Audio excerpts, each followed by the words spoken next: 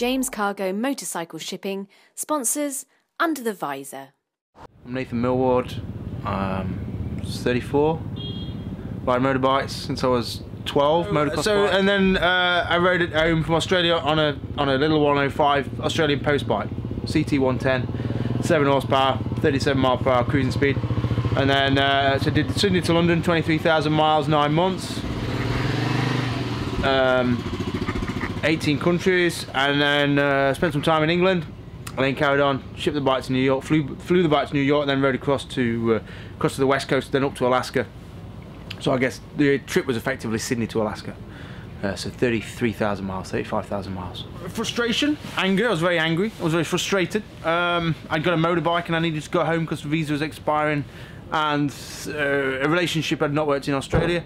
So instead of um, going off on a mad, mad mental rage, uh, I, I- uh, well, I did. I suppose I, I rode home in a mad mental rage. And I don't think it uh, matters. I- I, think there's there's too many uh, people even asking that question. I don't think it's even a relevant question. It's a, a bike is a bike, and, and some are more appropriate than others, and some are more appropriate for some situations than others. But I, I think you just got to take what, what you feel comfortable on and what's right for you at the time. I only took the postie bike because that's what I got. That's all I could afford. It suited my budget. It suited. I, I set off with so much just frustration that uh, transferred into forward motion. So if I could have done 150 miles an hour home to Australia, home to England, I would have ridden at 150 miles an hour. Thankfully, the bike capped me at 37. So I could ride as fast and as hard as I wanted, but I was still only doing 37. So for me at that time, it was a perfect bike, and I I wouldn't have wanted to do it on anything else. It made it affordable.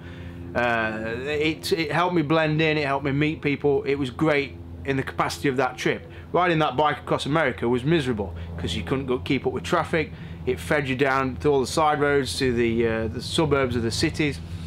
You couldn't enjoy America because you were sort of hamstrung by the bike and its speed and its limitations. And you know, any bike would have been better. Any bike with a bigger engine would have been better than that one.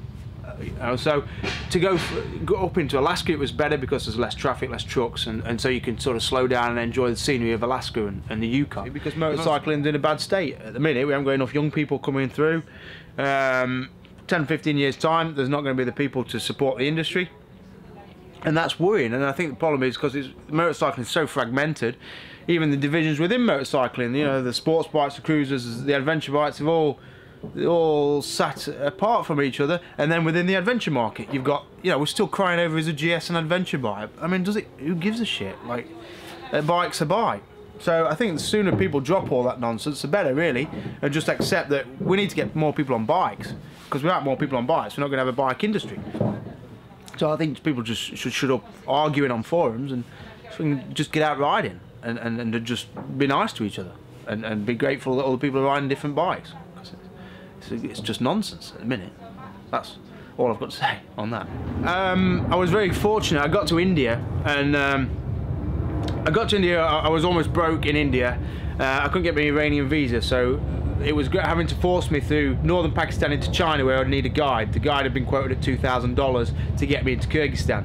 It was at that time that I got approached by an Australian publisher who'd happened to read a snippet in a newspaper in the Sydney Morning Herald about me riding my bike home from uh, Australia. So they got in touch, said, "Look, we've seen your trip in the newspaper. Sounds interesting. Have you thought about writing a book?"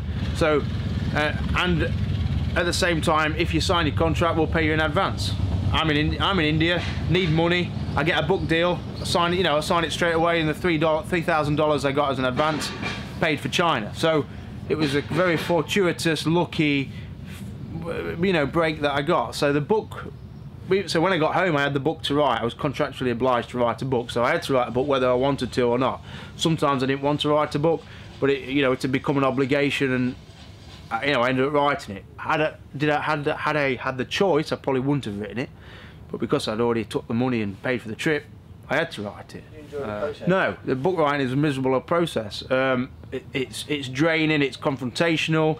You know, you can either pretend to be the person you you'd like to be, or you can try and represent an honest. You can try and cut cut cut away the the meat of it and just get to the bones of the truth, and that's very.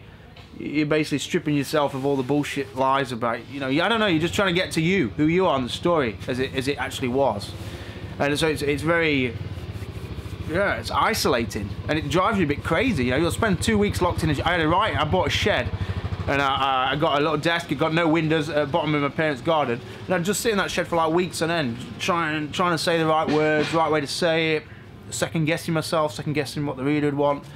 You know, so you finally emerge from that shed, and you can't you can't even communicate. You, uh, you just can't. You, you, you, your mind's gone. So book writing is not a pleasurable process, but sometimes you know it's a good it's a good one. It, it, it helps you make sense of what happened. Really, Some, sometimes that's good. Not always, but I think you know writing a book makes sense when you feel you've got something to say. If you've got nothing to say, there's no point writing a book because the, the trips themselves are just trips. It's, it's just riding a motorbike a long way, which there's nothing really that interesting about that. Really, it's just yeah, I went here, I woke up, I slept, I rode, I woke up, I slept, I rode. You know, there's nothing really that interesting about trips. Um, but I felt the whole reason for doing that second trip. Um, I felt there was some I had more to say, like a conclusion to the first book, really. So that's why I've, I've, I've got you know I've gone through the process of writing a second one.